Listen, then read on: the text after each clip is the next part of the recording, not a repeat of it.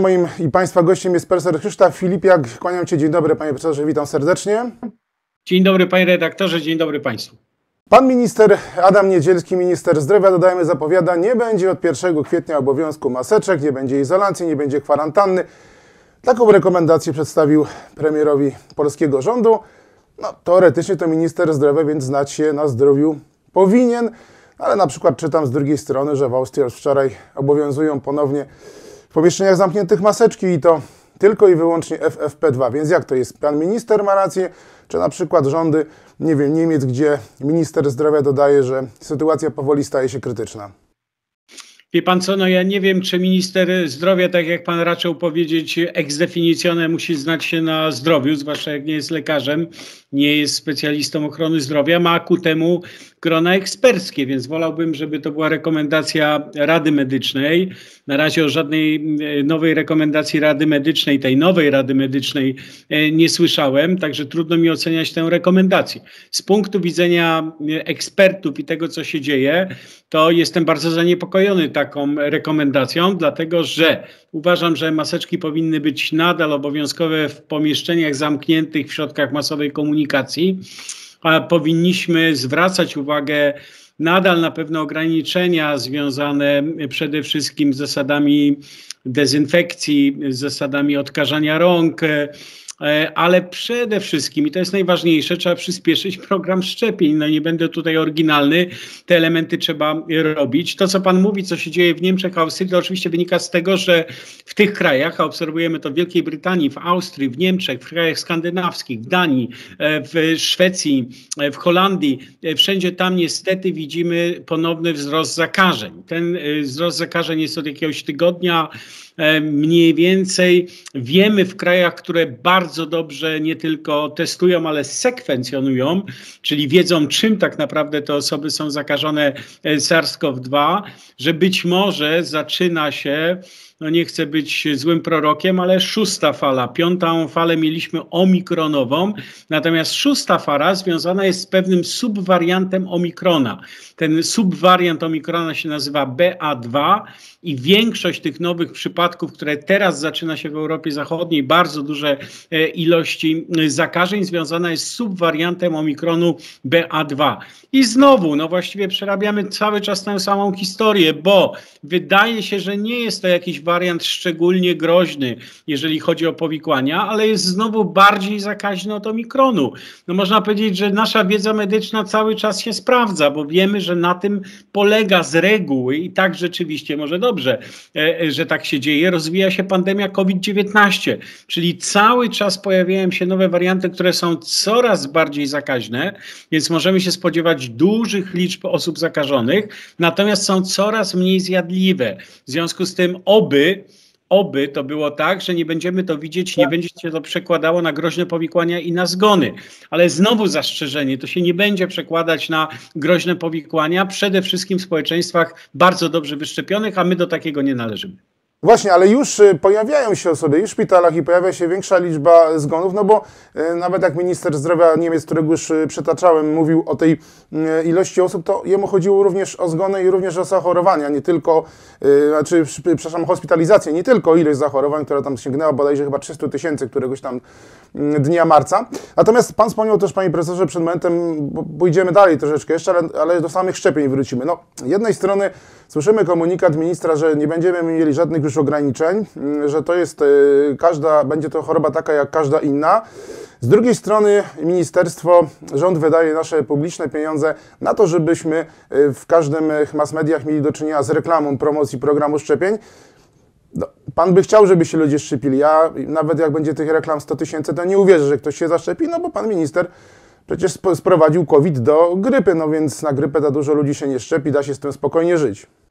No, to jest oczywiście niepokojące, bo my obserwujemy, że od czasu, kiedy nasi notable ogłosili koniec pandemii, cały czas spada liczba szczepień przeciwko COVID. Zresztą do mnie docierają liczne sygnały, piszą do mnie pacjenci, piszą do mnie znajomi czy followersi w mediach społecznościowych, że w małych miasteczkach w Polsce zamykane są punkty, że nie można szczepić dzieci, że w tych punktach rejestruje się te dzieci, bo trzeba uzbierać liczbę dzieci, żeby zamówić partię szczepionek. No tak to nie powinno wyglądać. Nie powinno wyglądać także dlatego, że no, rozmawiamy, pan redaktor poprosił mnie o tą krótką rozmowę w niedzielę 20 marca czyli w dzień, w który proszę pamiętać, że oczywiście nieco inaczej już patrzymy na COVID-19, niezależnie od tych e, wszystkich danych epidemicznych, o których powiedziałem.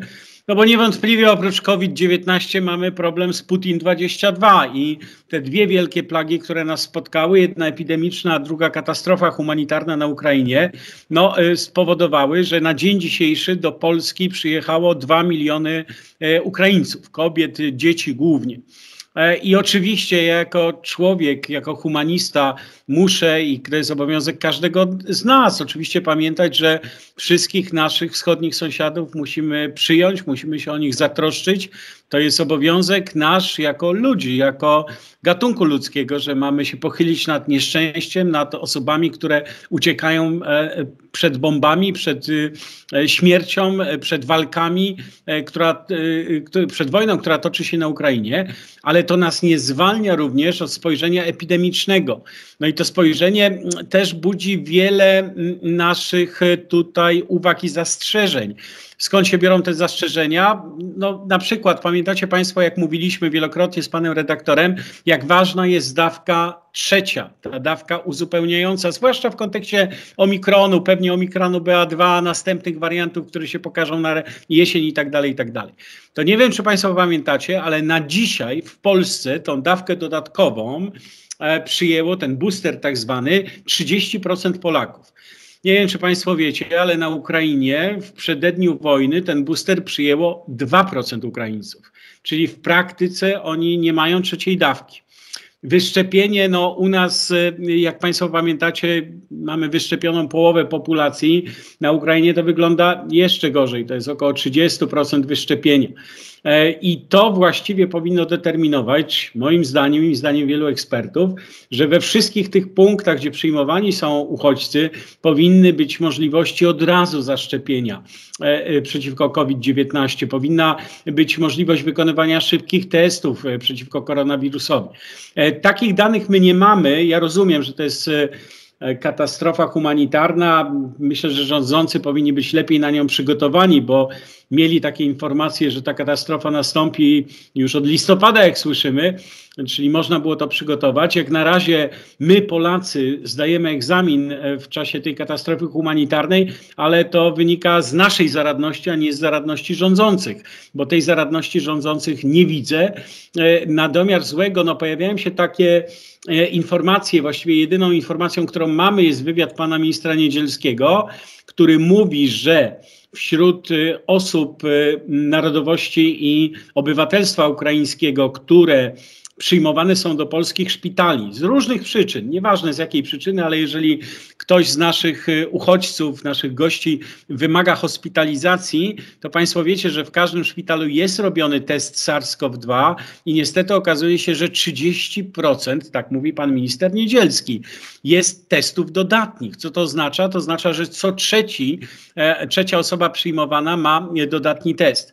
Proszę tego oczywiście nie utożsamiać z tym, że ja mówię, że 30% z dwóch milionów Ukraińców, którzy przyjechali do Polski, ma pozytywny test. Tak nie jest. To jest bardzo wyselekcjonowana grupa. Ona się pewnie zgłasza do szpitala, dlatego że coś jej dolega. Ale wśród tych osób, bo u nich tylko przeprowadza się regularne badanie, 30% jest testów dodatnich. Tak mówi pan minister Niedzielski. Ja nigdzie tych danych nie widziałem publikowanych poza wywiadem prasowym. E, I to jest bardzo niepokojące. To pokazuje, że jest bardzo istotny problem i musimy sobie z tym e, problemem poradzić. Proszę pamiętać, że jesteśmy w sytuacji, gdzie do naszego 38-milionowego kraju dojechało 2 miliony naszych braci ukraińskich e, uciekających przed wojną, ale oni są zdecydowanie gorzej wyszczepieni i powinniśmy się o nich także w tym kontekście zatroszczyć, ponieważ też proszę pamiętać, że te osoby pewnie z nami na dłużej zostaną. Na pewno zostaną do jesieni. Na jesieni będziemy mieć powtórkę z rozrywki, następną falę e, COVID-19. Panie profesorze, to, to, to, to, czy pan coś z tego rozumie? To czemu minister zdrowia Nie po raz pierwszy już pan minister Niedzielski, bo już wcześniej się panu ministrowi zdarzało na początku roku, też już mówił, że już tam sobie dajemy spokojnie radę z kolejną falą, już no, o numerację nie będziemy się sprzeczać, ale dajemy sobie radę. Mm, potem się okazało, że przyszedł Omikron i jakoś nie dawaliśmy sobie znowuż do końca rady. Potem kiedyś usłyszałem, że te osoby, które, nie wiem, tam jeszcze dwa czy trzy tygodnie temu umierały, czy teraz umierają, to umierają po delcie. Mm, nie wiem, może tak jest, że już po Omikronie nie umierają. Dwa lata temu pan premier też ogłaszał sukces nad koronawirusem. Rozumie pan coś z tego? To znaczy, to jest do ogłoszenia sukces, czy to jest po prostu pozytywne życzenie, żeby wiosna, w związku z tym, że mamy wojnę, zaczęła nam się bardziej pozytywnie, to zdejmiemy maseczki? Taka jest ta retoryka?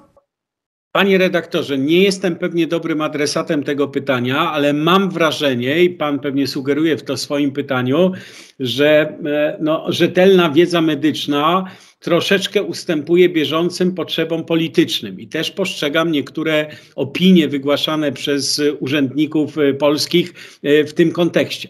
Ja myślę, że uporządkujmy to, co wiemy. Po pierwsze, wiemy, że na pewno mija fala omikronowa. Mamy dobrą numerację tych fal, panie redaktorze, proszę się nie przejmować. To była tak zwana fala piąta, omikronowa. I widzimy, że mamy coraz mniej osób w szpitalach, coraz mniej hospitalizowanych, coraz mniej pod y, e, respiratorem. Niewątpliwie tak. Ale z drugiej strony wiemy, że rośnie liczba zakażeń, co nazywamy nadchodzącą falą szóstą w krajach Europy Zachodniej, a my wiemy, że te fale się przetaczały od zachodu do wschodu. No to jeżeli w tej chwili w Niemczech mają taki problem, to no naprawdę no, subwariant BA2 nie zatrzyma się na Odrze i Nysie Łyżyckiej, tylko za chwilę, za tydzień, za dwa, za trzy będziemy mieli ten problem wzrostu znowu e, liczby zakażeń w Polsce, nawet jak go nie zauważymy, bo praktycznie już przestaliśmy powinniśmy oznaczać i tam mamy symboliczne e, jak gdyby elementy oznaczania. Czyli to jest drugi problem. Trzeci element to jest katastrofa humanitarna, napływ dwóch milionów Ukraińców do Polski, e, którzy są nieco gorzej wyszczepieni, więc to też jest czynnik, który musimy brać pod uwagę. Czwarty to jest rozsądne zalecenia i te rozsądne zalecenia moim zdaniem e, powinny jednak pozostawiać maseczki na przykład w środkach masowego transportu i nieznoszenie wszystkich, proszę Państwa, obostrzeń. I piąty element. Nie wolno mówić czegoś takiego, że COVID już mamy za sobą, bo nie jest to prawda, nie jesteśmy tego pewni, a poza tym bardzo mnie niepokoi takie e, sformułowanie, jeżeli pada e, z ust ministra zdrowia, bo przekłada się to na zastopowanie szczepień. I to widzimy i robimy to w kraju, który jest bardzo słabo wyszczepiany. Tutaj e, sytuacja się nie zmieniła. No to o politykę nie będę pana pytał. Panie profesorze, zapytam pana o wiedzę medyczną. Pytam człowieka, który jest lekarzem, więc ma tą wiedzę, to mamy się czego bać, czy to faktycznie w związku z tym, co pan profesor też powiedział, czyli to, że on się staje, kolejne warianty, to jest większa zakaźliwość, ale teoretycznie przynajmniej mniejsza zjadliwość, to on się już staje mniej groźny, czy jednak dalej, nawet jeśli jest mniej zjadliwy, to daje jakieś powikłania i efekty, nawet jeśli przejdziemy łagodnie w późniejszym czasie. Jak to jest, panie profesorze? Wie pan, ja myślę, że pan trochę też nawiązuje do tej retoryki, którą, która pobrzmiewała w wystąpieniu pana ministra zdrowia, bo zauważmy, że e, te wystąpienia mówią mniej więcej tyle. To znaczy to, co Pan powiedział, że ponieważ e, wirus jest coraz bardziej łagodny, nie przekłada to się na taką liczbę hospitalizacji i zgonów, to właściwie możemy zacząć żyć z tym wirusem i traktować go jako rodzaj a, sezonowego zakażenia wirusowego, podobnego jak grypa. No tylko, proszę Państwa, My cały czas jesteśmy w pandemii, nie wiemy, jaki będzie następny wariant. No, oby tak było, że każdy następny wariant będzie ciut bardziej zakaźny, ale jeszcze bardziej mniej zjadliwy i nie będzie się to wiązało z powikłaniami. Po drugie, mamy niesatysfakcjonującą liczbę wyszczepionych, to już któryś raz powtarzam, więc nie można jak gdyby e, spowodować takiego, no, e, takim nastawieniem, że nic się nie dzieje, że już się oswoiliśmy z wirusem, wszystko jest ok. No, byłoby ok, gdybyśmy byli dobrze E, e, zaszczepieni. I trzecia rzecz, o której Pan wspomniał, no to jest mimo wszystko cały czas nowa pandemia. To jest pandemia, gdzie nie wszystko jeszcze wiemy.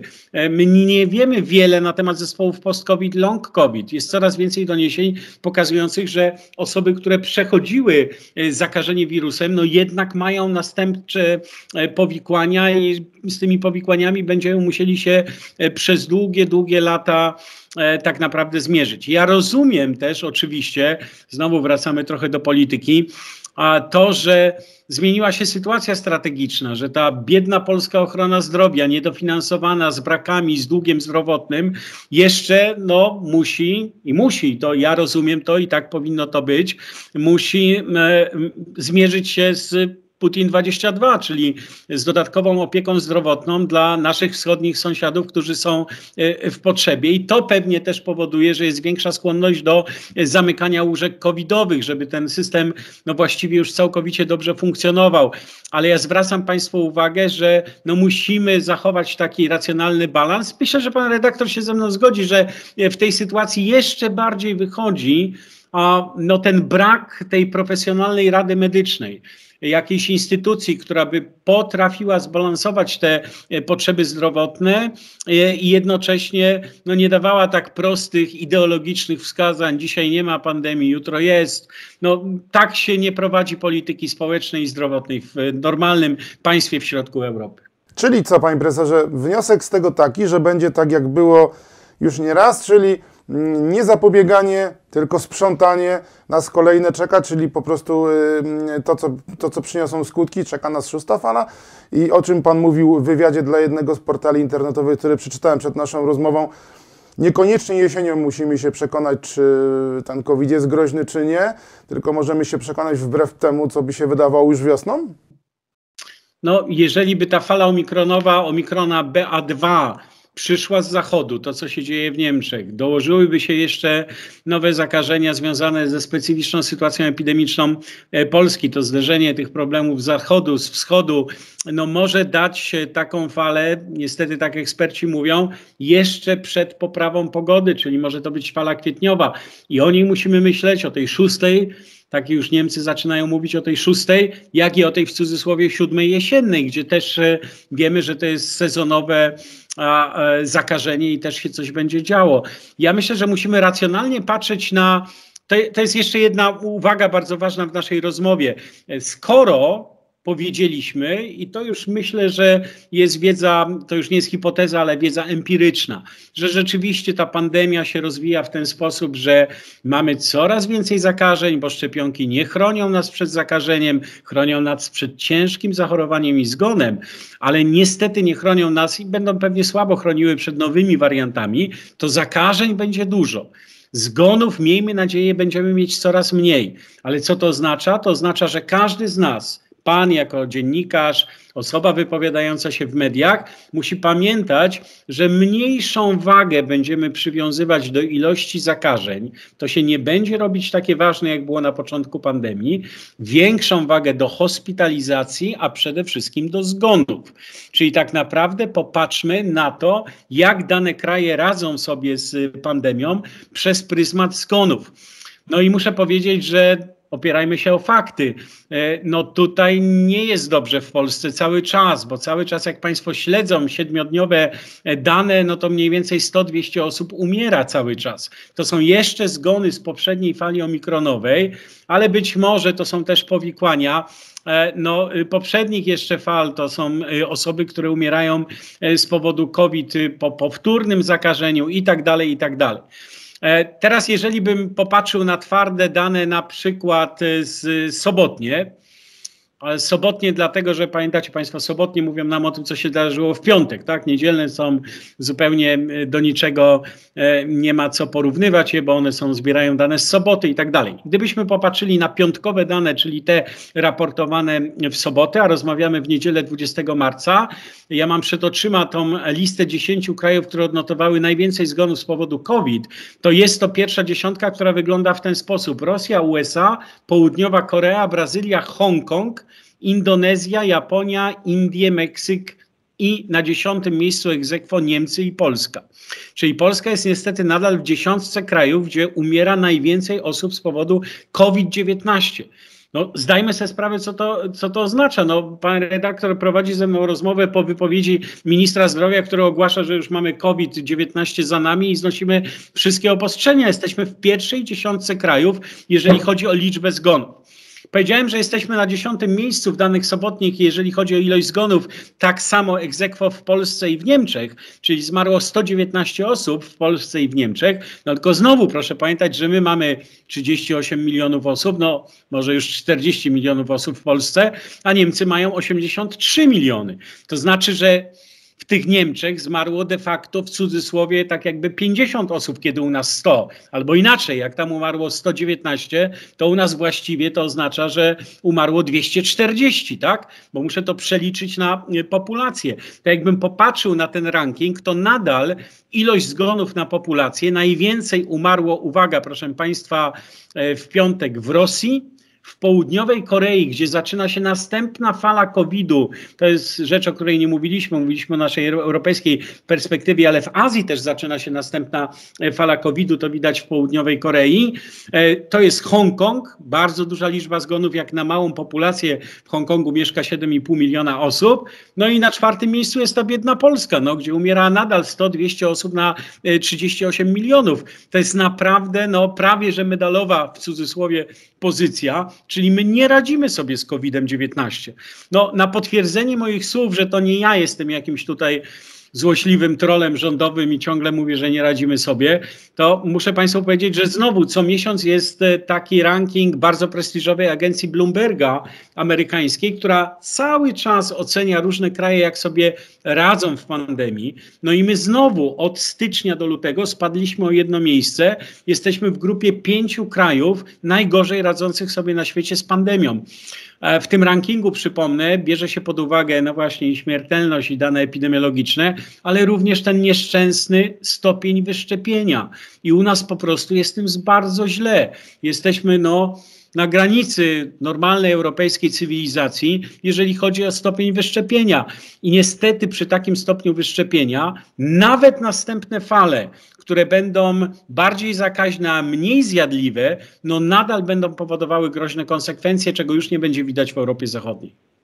Dobrze, panie profesorze, jeszcze jedna rzecz, bo dużo się mówiło mm, o, o tak zwanej odporności stadnej, bo dużo nas przechorowało tę chorobę, bo nawet jak się nie zaszczepiło, to jest po przechorowaniu, to już się nic nie, nie, nie stanie. Natomiast ja codziennie patrząc na te, na te raporty, testowanie jak wygląda, jak to, jak to pan już profesor mówił, więc do tego się odnosić nie będę, y, tym bardziej sekwencjonowanie, ale codziennie mniej więcej 10% tych zakażeń to jest powtórka. Ja mniemam, tak mogę podejrzewać, że ileś osób z tych 10%, które poddane zostały testowi, no, trafiło tam dlatego, że jakieś skutki odczuwało tego covid i poszło się przetestować. No to, się, to, to, to, jak to jest z tą odpornością stadną, zapytam. Patrząc na to, że mówię, 10% każdego dnia to, jest, to są osoby, które powtórnie zachorowały, więc rozumiem, że w miarę szybko to się y, zadziało. Wie pan, no to jest bardzo trudne pytanie, dlatego że my mówiliśmy, że ta odporność stadna, oczywiście ona jest tworzona zarówno przez szczepienia, jak i przechorowanie. Natomiast proszę pamiętać, że no nasza wiedza immunologiczna mówiła, że ta odporność po przechorowaniu to jest taka odporność gdzieś mniej więcej sześciomiesięczna. Dlatego większość krajów, nawet jak e, stosowała coś, czego w Polsce w ogóle tam nie stosowaliśmy, czyli te słynne COVID pasy, to mówiliśmy, że to może wejść tam do jakiegoś pomieszczenia, może nie nosić maseczki, osoba zaszczepiona albo taka, która przechorowała COVID w ciągu ostatnich 6 miesięcy. I to była taka wiedza, że no można jak gdyby sumować te osoby, które przechorowały w ciągu 6 miesięcy. Czyli jak ktoś mi mówi, wchodzi do gabinetu lekarskiego, mówi, że on już przechorował COVID, bo miał w zeszłym roku, to ja mówię, no super, ale to nic nie oznacza. Pan już żadnej odporności naturalnej po przechorowaniu COVID-u w zeszłym roku nie ma. Czyli to jest moja pierwsza uwaga do, do, do pana tezy, panie redaktorze, że bardzo ostrożnie z tą, e, e, z tą odpornością stadną, bo ona dotyczy pierwszych sześciu miesięcy po przechorowaniu. I druga bardzo ważna uwaga, ta wiedza może, jak wszystko w medycynie, trochę się zmieniać, dlatego że mamy coraz więcej osób, które na przykład w miarę szybko po zachorowaniu na e, w tak zwanej na przykład trzeciej fali, od razu w czwartej fali były chore, nawet po miesiącu, po dwóch. To by przeczyło tej wiedzy, że e, ta odporność tutaj po przechorowaniu miała cokolwiek dla nich zaznaczenia. E, no pewnie nie miała także dlatego, że po pierwsze odporność po przechorowaniu jest słabsza niż odporność po szczepieniu, a po drugie, uwaga, każda następna fala wiąże się z innym wariantem wirusa. I nie możemy też wykluczyć, że ta odporność, która jest nabyta po jakimś a sekwencji genetycznej wirusa, po jakimś wariancie wirusa, no jest też taką w pełni wartościową odpornością, jak pojawi się nowy wariant. Czy to omikron, czy subwariant omikronu. Czyli znowu bardzo ostrożnie, jeżeli chodzi o te dyskusje o odporności stadnej, to jest jednak suma przede wszystkim szczepień i oczywiście także przechorowania. Chociaż z drugiej strony, jako adwokatus diaboli, mogę powiedzieć, że na pewno ta odporność no nawet dłuższa ma pewne znaczenie, bo zauważcie Państwo, ja przed chwilą nie bez kozery zacytowałem ten ranking państw, gdzie jest bardzo dużo w tej chwili zakażeń. Jest bardzo dużo zakażeń, proszę Państwa, w Korei Południowej, w Hongkongu, a w Wietnamie. Pojawiło się dużo zakażeń w Australii. Czyli w krajach, które dotychczas w poprzednich falach no, uniknęły właściwie istotnych zakażeń. Tak? Tam były bardzo dobrze wprowadzone zasady lockdownu, było wysoki stopień szczepień, więc być może to jest tak, że te kraje, które nie przechorowały jeszcze na dużą skalę, tak jak no my już przechorowaliśmy, no muszą w pewnym momencie, niestety ten wirus nam się wyrywa naszej i odporności e, poszczepiennej, bo to są kraje bardzo dobrze poszczepione, e, Korea Południowa, Australia i mimo wszystko tamte osoby zachorują, czy się zakażą. Miejmy nadzieję, że w tak dobrze wyszczepionych społeczeństwach nie będzie miało to e, konsekwencji śmiertelnych, takich jak, jak ma w tej chwili na przykład w Polsce. Czyli kończąc i reasumując, jeden z profesorów, który często się dość pozytywnie wypowiadał o działaniach rządu. Jakiś czas temu powiedział jednak, mm, nie pan minister zdrowia epidemii ogłosił, nie pan minister zdrowia będzie ją odwoływał. To cytat z pana profesora, nie, nie będę podawał nazwiska, ale Pan profesor na pewno zna tą osobę. Natomiast, natomiast y, jak się zachować? Szczepić na pewno. Kto nie ma dwie dawki, niech zaszczepi się trzecią. Nie wiem, co będzie z czwartą. Czy taka możliwość będzie, bo na razie jest to reglamentowane jak mięso w, w czasach komunizmu na, na kartki. Tak, tak to mniej więcej wygląda z dostępem do szczepionek. I co? Zajmujemy maseczki, rzucamy się wir, czy powinniśmy raczej polegać na. Ja myślę, że szczepimy się i namawiamy wszystkich do trzeciej dawki. E, wykazujemy dużą empatię dla e, naszych wschodnich sąsiadów, których być może będzie jeszcze więcej za chwilę z nami i także taką troskę i namawiamy ich, e, jeżeli nie robi tego rząd, żeby się zaszczepili, interesujemy się tymi szczepieniami. My, no, o tym nie rozmawiamy, panie redaktorze, mówimy tylko o covid a tam jest też problem nieszczepionych dzieci na odrę, na polio, no, na wiele innych szczepień i, i, i to też musimy nadrobić, no, opiekując się naszymi sąsiadami, którzy uciekają z, spod strzałów i, i, i spod bomb. E, trzecia rzecz, nie zdejmujemy maseczek w środkach masowej komunikacji e, i myślę, że wszędzie tam, gdzie spotykamy się w dużych gronach e, osób, które są nam nieznane i mają nieznany status epidemiczny, myjemy ręce, dezynfokujemy tak jak dotąd i patrzymy na dane i słuchamy ekspertów, a nie polityków w telewizji. To mam nadzieję, że Państwo wysłuchali naszej rozmowy, bo to nie był polityk, nie był naszym gościem, ale lekarz. Profesor Krzysztof Filipiak, dziękuję serdecznie Panie Profesorze, dziękuję za spotkanie, dziękuję za rozmowę. No i obyśmy może kiedyś dożyli takich czasów, gdzie nie będziemy mówić o tym, że epidemia znowuż nawraca. Może porozmawiamy o tym, jak się leczyć, jeśli chodzi o choroby serca, jak zbać o swoje zdrowie. Myślę, że to by był dobry temat, zwłaszcza, że Pan Profesor się na tym doskonale również zna. No ale jesteśmy na razie w takiej sytuacji, jakiej jesteśmy, oby przyszły lepsze czasy. Dziękuję jeszcze raz, kłaniam się nisko. Bardzo dziękuję panu redaktorowi i państwu. Życzmy sobie zdrowia.